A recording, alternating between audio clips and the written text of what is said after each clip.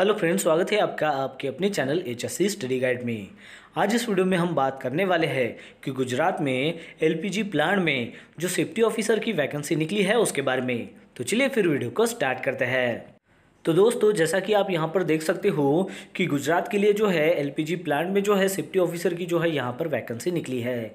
Qualification की अगर बात करें तो बी या फिर बीटेक जो है, आपके पास होना चाहिए, वो चाहे आपने किसी भी जो है स्ट्रीम में किया हो। इसके साथ साथ जो है, एक साल का जो है, आपके पास एक्सपीरियंस होना चाहिए। इसके साथ साथ डिप्लोमा इन इंडस्ट्रियल सेफ्टी या फिर पीडीएस यानी कि post diploma in industrial safety का जो है, वो आपके पास डिप्लोमा होना चाहिए। और यहाँ पर जो है आपको इमीडिएट ज्वाइनिंग जो है वो करनी पड़ सकती है। तो अगर आपको लगता है कि ये जो जॉब है ये आपके लिए सही रहने वाली है तो आपको जो है आपका अपडेटेड सी जो है वो इस मेल आईडी के ऊपर भेजना है।